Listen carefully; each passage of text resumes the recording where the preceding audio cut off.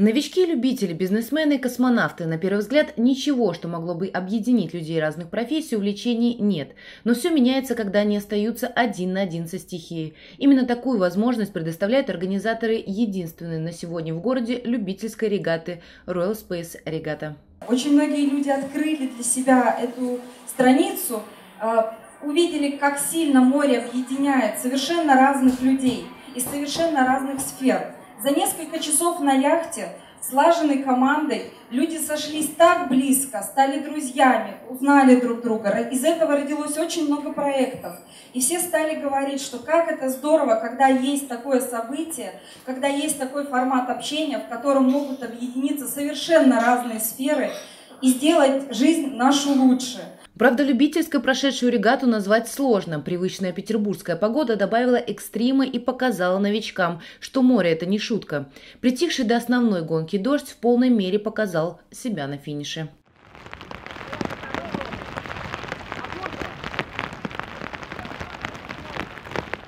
Постоянная работа в команде. Это так очень сильно сплочает коллектив. И лично я пришел сюда за этим, как-то я это познал, и я продолжаю этим заниматься, как раз потому что мне нравится как сказать, заниматься совместным делом с людьми. И при этом, если это приносит еще моральное удовлетворение там, путем побед, каких-то призов, то это еще дополнительный бонус, скажем так.